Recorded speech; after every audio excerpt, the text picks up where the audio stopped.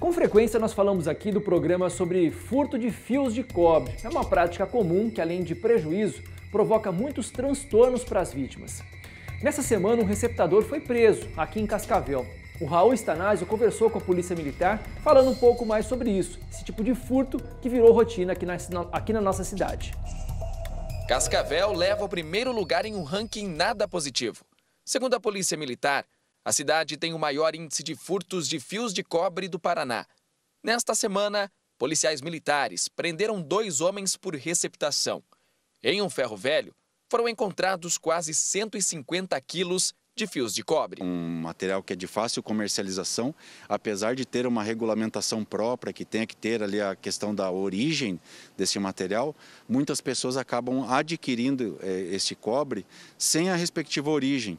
E isso daí deve ser apurado de uma forma melhor, porque está prejudicando muitas pessoas. Né? São construções que a gente observa aí que é, tem essa, esse furto de, de, energia elétrica, de energia elétrica não, mas o, o material, o padrão de luz ali, né? muitas vezes é, acabam sendo objeto aí de, de, deste furto e também acaba sendo vandalizado, que é um padrão ali que pelo menos a pessoa vai custar, vai custar para ela para construir uma obra pequena ali pra, pra, é, próximo de mil reais. Só de uma empresa de telefonia, os criminosos furtaram cabos em 37 pontos diferentes neste ano na cidade. E a quantidade de fios furtados varia entre 100 a 2 mil metros em cada ponto. E um caso foi registrado recentemente nesta rua, na Silvino Casagrande, na região do bairro Alto Alegre, aqui em Cascavel. O criminoso conseguiu furtar mais de 120 metros de cabos. Isso acaba gerando um grande prejuízo para a empresa responsável. Por exemplo, neste cabo de internet são oito fios.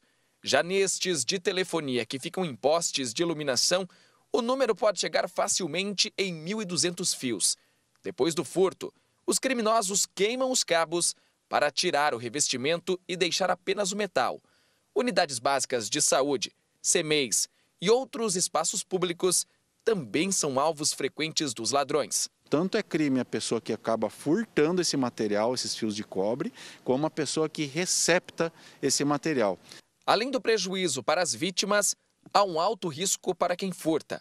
Há dois anos, um homem morreu enquanto tentava furtar cabos de energia em uma caixa subterrânea em Cascavel.